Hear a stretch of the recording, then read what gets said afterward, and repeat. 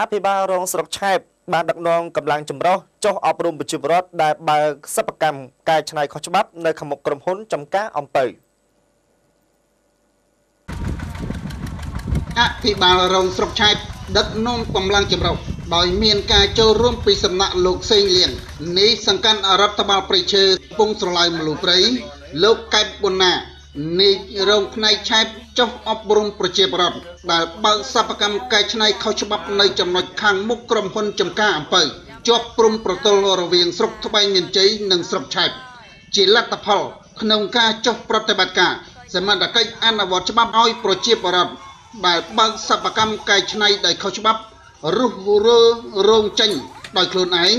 និងបានដកហូតរណយន្តចំនួន3គ្រឿងទុកជាសម្បត្តិរដ្ឋផងដែរ លោកសេងលៀងបានឲ្យដឹងថា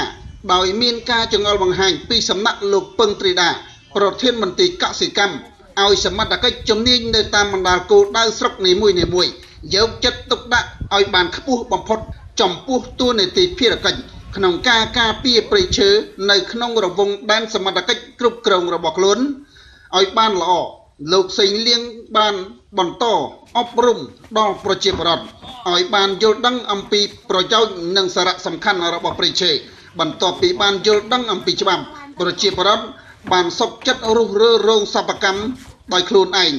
មិនបន្តធ្វើតទៅទៀតទេ លោកសុកមនីរិទ្ធបានឲ្យដឹងថា ដោយមានបទបញ្ជានិងការណែនាំចង្អុលបង្ហាញពីសំណាក់ឯកឧត្តមអ៊ុនចិន្តាអភិបាលនៃគណៈអភិបាលខេត្តព្រះវិហារឲ្យអាជ្ញាធរស្រុកត្រួតពិនិត្យមើលនឹងការទប់ស្កាត់បទល្មើសធនធានធម្មជាតិ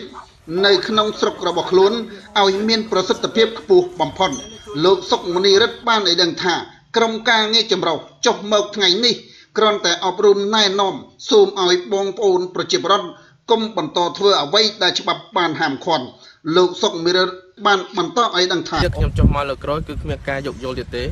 ណាលើកទី1លើកទី2នេះខ្ញុំយោគយល់យោគយល់កត្តាច្រើនណាតែលើកក្រោយគឺអត់ទេ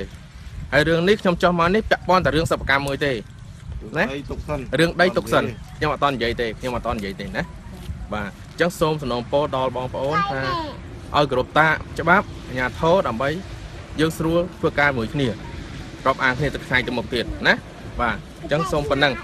ក្នុងនាមអាជ្ញាធរស្រុកឆែបណាបាទអរគុណ